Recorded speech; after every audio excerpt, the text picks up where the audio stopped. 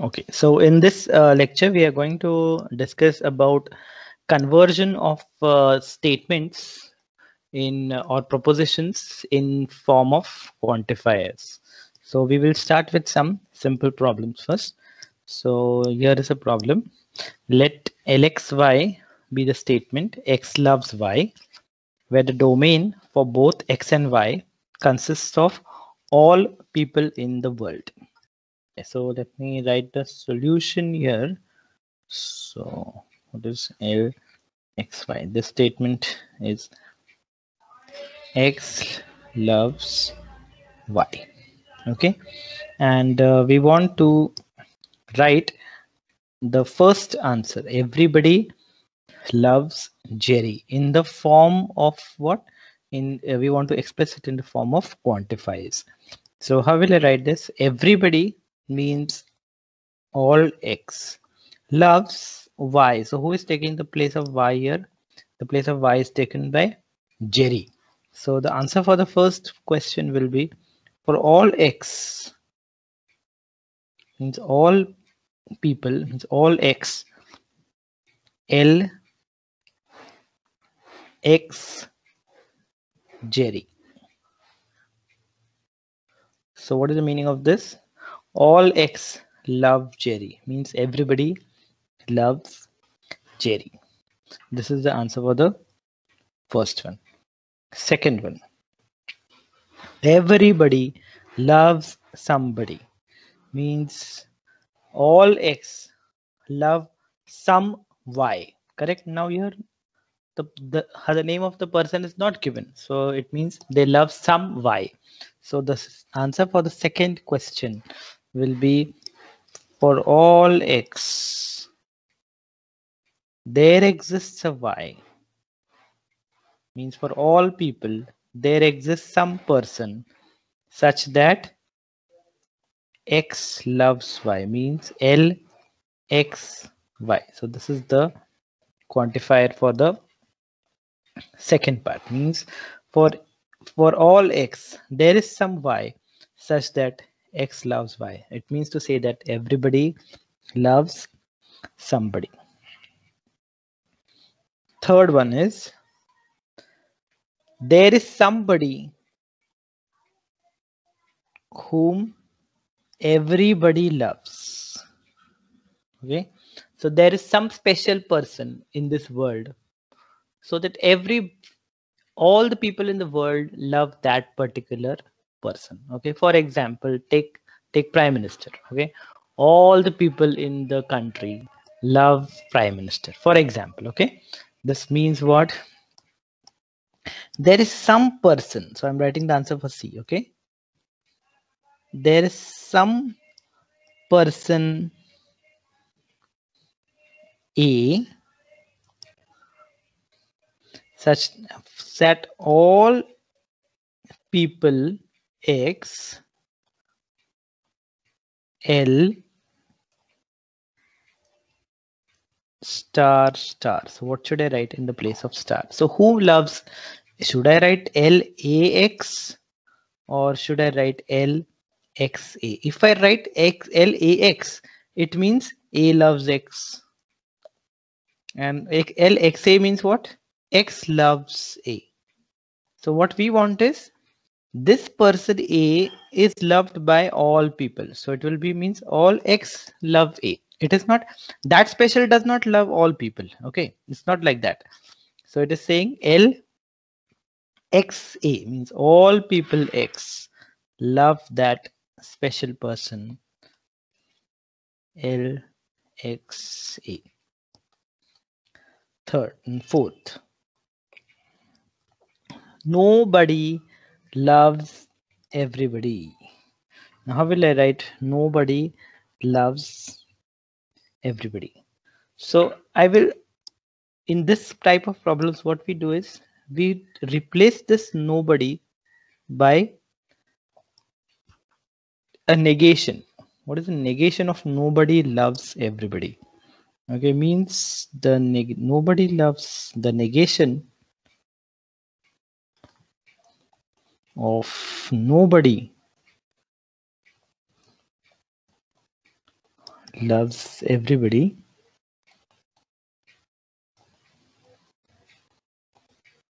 Is it is not the case that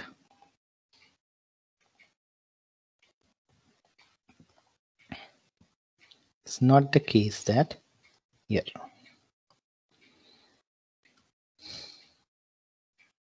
somebody loves everybody it is not the case that somebody loves everybody. Now I will write the answer of somebody loves everybody and it is not the case means what? It is negation of somebody loves everybody. Now what is a negation of somebody loves everybody? Somebody means there exists some person X everybody for all Y L X Y. What is the meaning of this? It negation of there, there is some person who loves everybody, which is for all Y, L, X, Y. And what is the negation of this thing? We know that when we take a negation of quantifier, there exist gets converted into for all, for all gets converted into there exist, and proposition P gets converted to negation p. So this will become what? For all x, there exists y negation l x y. So this is the final form of the quantification for which particular statement for nobody loves everybody. Let's go to the next question. There is somebody whom jinn does not love. So there is some person whom jinn is uh, jim does not love okay? So let us see how to solve this now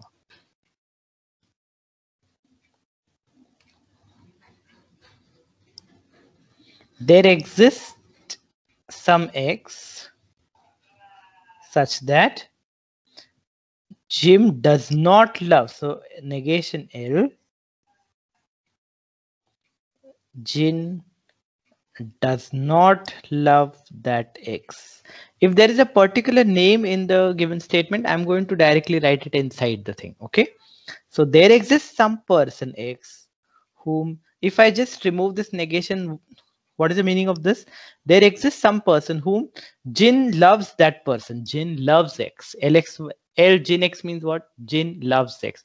But we want that Jin does not love. So I'm going to make what? I'm going to make a negation of L, Jin and X. Let's see what is the answer for the F part now. There is somebody means there is some a there is some X or Y, whatever you can say.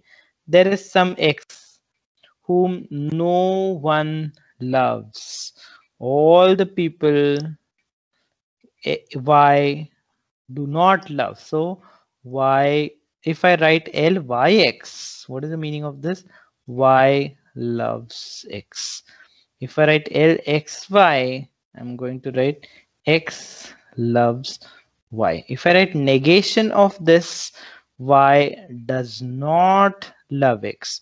If I write negation of LXY, X does not love Y. Now, what do we want?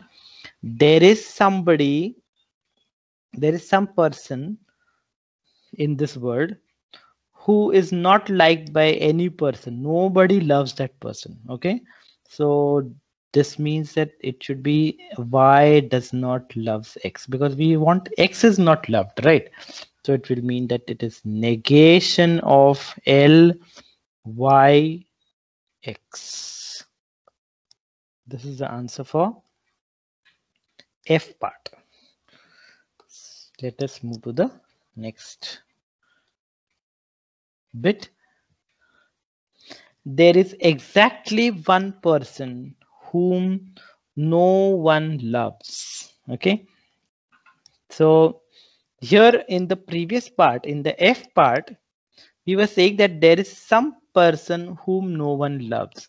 Now that some person, which is this X, that may be two or three people because you know when you write there exists, you say at least, right? It means you you may have two, three people who are who are not loved by all the people in the world, right? So here in the G part, what am I saying? Now you're, you're saying that there is exactly one person in the world whom nobody loves. So if I just write the answer for G like this, there exists some X in this world such that if you take all the people in the world, all the people in that world, Y are not going to love X. But this means that this X can be more than one because it is saying at least one person, right? But what I want to say now, there are not more than one person, but in this problem, there is exactly one pe person in this world whom nobody loves. So how will I write that if there is exactly one? So for that, if you want to say there is exactly one, you will just put a exclamation mark after the existential quantifier. So this means then I will write a x. This means that there exists exactly one x for all y negation lyx. So what is the exclamation mark meaning? Exclamation mark means exactly one or unique. In mathematics, we say we use the word unique. Okay, let me show you the H1.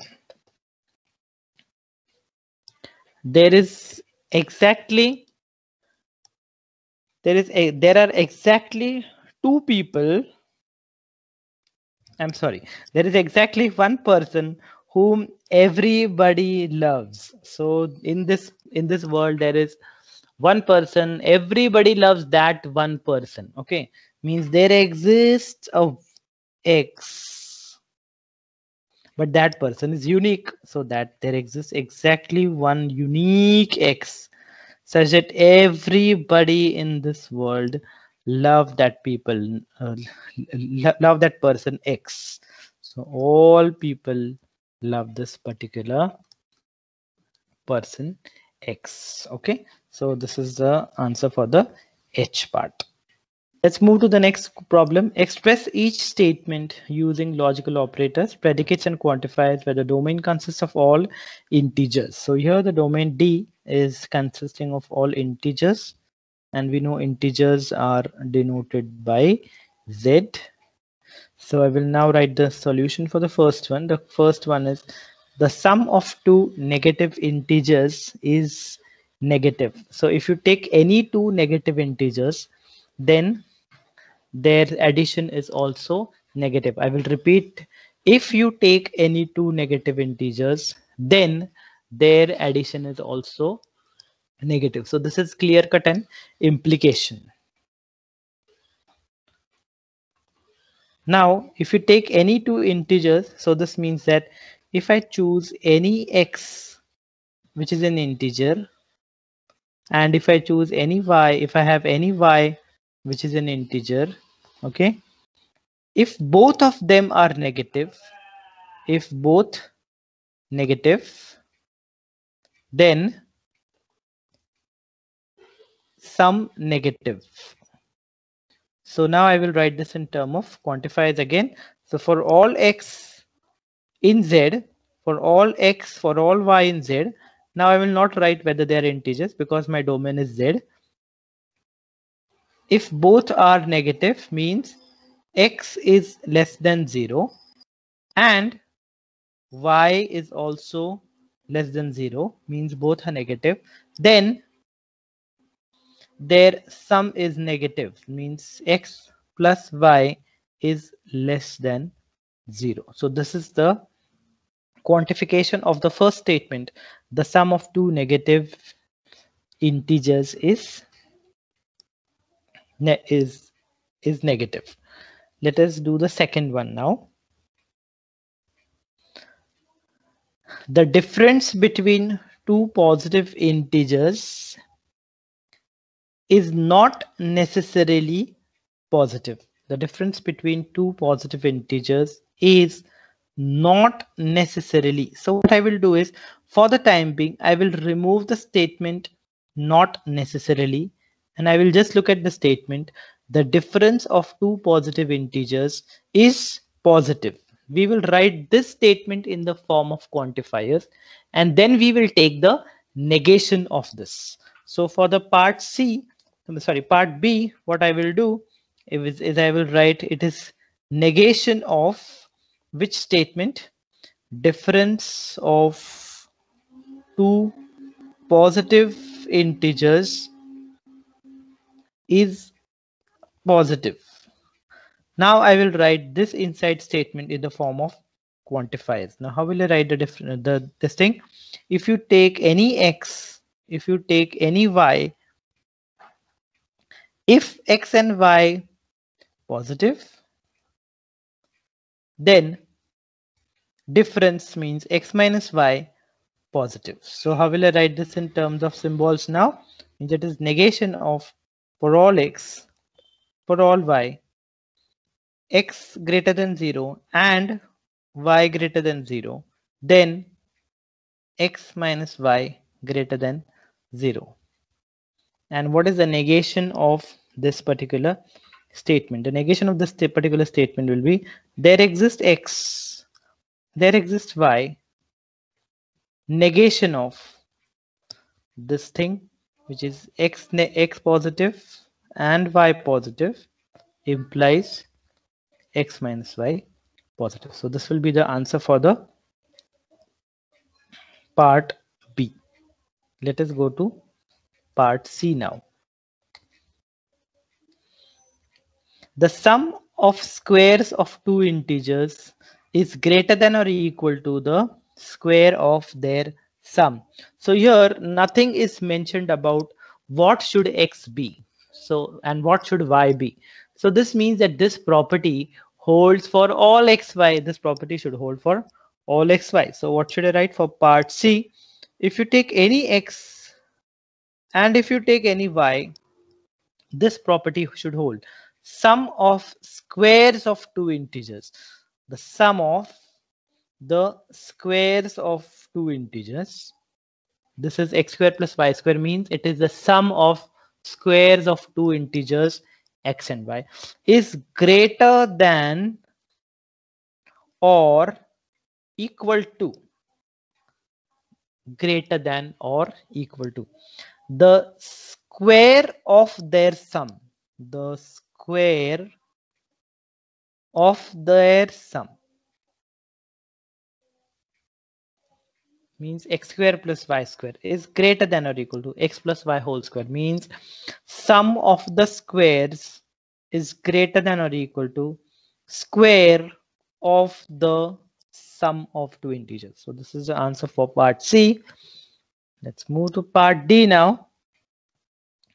The absolute value of the product of two integers is the product of their absolute values. How will I write this in terms of quantifiers? There is nothing mentioned about x and y. This means that this property is true for all x, y. So therefore the answer for the part D will be, therefore the answer for the part D will be for all x, for all y, I will write down this property. The absolute value of absolute value of product of two integers x into y is is means is equal to is equal to product of means multiplication of their absolute values so mod xy is equal to mod x plus mod y. This property holds true for all x, y, which are integers. Part D, part E, sorry. The product of two negative integers is positive. Now, how will I write the product of two negative integers is positive? This means that for all x, for all y, if x, y negative, then product positive. So this means that for all x, for all y, x less than 0 and y less than 0 means x and y both are negative, then product x into y is positive.